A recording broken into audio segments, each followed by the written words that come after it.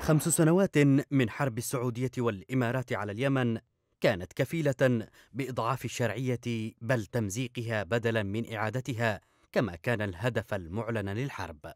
تلك النتيجة المتوقعة وغير المرغوبة لكثيرين يبدو أنها أوصلت السعودية إلى قناعة بضرورة إعادة الحسابات. وإعادة الحسبة هنا مبنية على تصورها المبيت لشكل اليمن القادم في جانب منه وإقرار متدرج بالهزيمة في جانب آخر. ما كشفته وكالة أسوشيتد بريس الأمريكية من أن السعودية تجري محادثات غير مباشرة مع ميليشيا الحوثي في سلطنة عمان منذ سبتمبر الماضي يذهب في اتجاه فشل المملكة في رسم خارطة اليمن باتباع الخيار العسكري.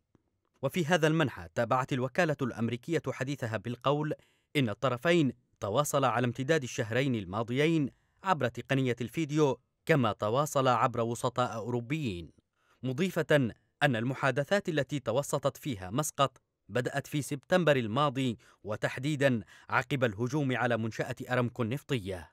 تجديف السعودية نحو شط الميليشيا بهذه الطريقة يحقق المشروعية للانقلاب الذي تقوى بفعل الحرب المدارة بطريقة بدت وكأنها انقلاب على مشروعية التدخل التي منحت من الرئيس هادي.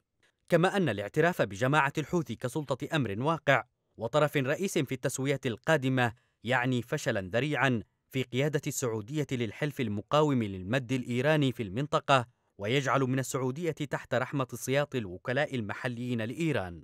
ما استقرت عليه الأوضاع حاليا في اليمن ولو لبرهة من الوقت يشي بشيء واحد وهو أن السعودية كانت تحارب اليمن لا تحارب لأجل شرعيته وذاك أمر يقود إلى مآلات أبرزها إجهاض التغيير في اليمن وإعادته إلى ما قبل مرحلة الدولة الموحدة. وأمام هكذا وضع ما من بد أمام اليمنيين خصوصا أولئك الذين راهنوا ولا زالوا على دور السعودية سوى مراجعة حساباتهم لإنقاذ غلطة هي الأكثر كارثية في تاريخ اليمن الحديث.